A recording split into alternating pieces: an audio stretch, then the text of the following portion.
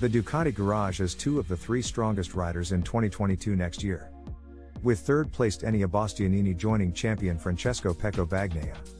Livio Suppo, who this year led Suzuki until the end of the championship, said that the rivalry between the two Italians can grow, but always with mutual respect. I don't think it will change much compared to this year. They are two young, strong Italian riders, they both ride Ducatis.